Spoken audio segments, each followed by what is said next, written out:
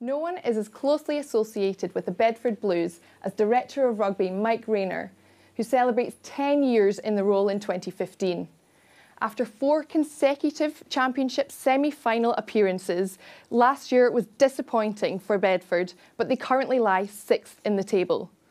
We came down to Goldington Road to speak to Mike to find out what he loves about the Blues and his hopes for the rest of the season. Mike, you spent a huge chunk of your rugby career um, with Bedford as a player and as a coach. Tell us about your relationship with the club. Well, I came here in the late 90s, 96 to 98 as a player and um, had a great uh, two years here with a great group of people and, and realised um, what a special rugby town this was. The offer of the job came to come back to Bedford and coach here and I jumped at the chance and you know, I'm 10 years into my three-year plan here. it's gone so quickly. It's, it's, it's unbelievable, and, and I feel so lucky to have been in this job for 10 years at such a great club, working for such a great chairman, and um, having such a great group of people of, and players who've come through here and gone on to, to bigger and better things. So how would you sum up the season so far?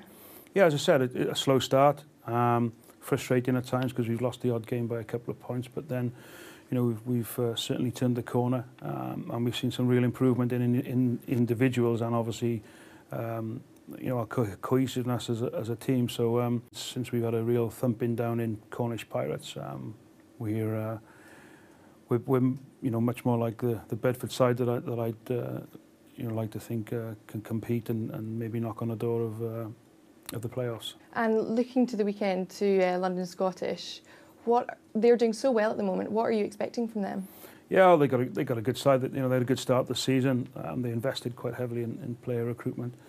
Um, we've got an outstanding player, probably outstanding player in the championship in Mark Bright at number eight. Um, so, you know, we've got to make sure we contain him. Um, but I guess it's about, you know, we haven't seen too many weaknesses in their game. It's about us at home, you know, taking the game to them and um, we've just got to make sure we don't give them easy field position and, and um, you know, leave Mark Bright dominate the game, which he can do easily.